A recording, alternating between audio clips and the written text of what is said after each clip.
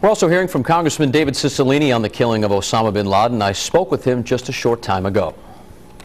As the leader of Al Qaeda and someone who was responsible for the death of thousands of individuals, this is an important accomplishment. Uh, I really want to applaud the intelligence services and the brave men and women who are part of this operation. I thank the President for his extraordinary leadership.